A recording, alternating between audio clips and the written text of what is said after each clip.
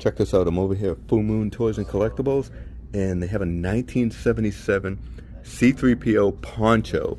This thing is so cool. It's like mint. No tears in it. But I love the image of C3PO. And there it is, 1977. And look at the Star Wars logo there. That is insane. Awesome.